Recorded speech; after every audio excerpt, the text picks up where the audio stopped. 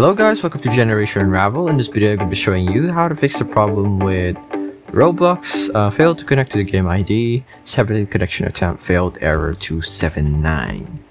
So this is actually a quite fairly easy problem to solve and what you need to do first is head over to CMD. Make sure to run this as administrator to have your commands take effect.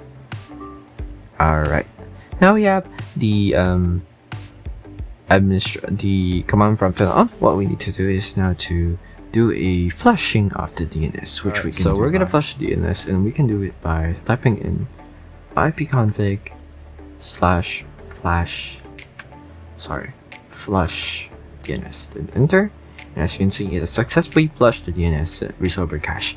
Next, we write down netsh um, netsh we write down netsh when south space reset and it will successfully reset to its catalog. Yeah. Okay. Next, what we need to do is uh, open the control panel and then we head over to network and internet. Okay, now we click on the connection that we've connected to. Click on that. I'm connected to a Wi-Fi. And then now we click on properties over here need to head over to Internet Protocol version 4 here, click on properties, and make sure to have something 111 in here, 1, 0, 0, 1. Press OK, and close.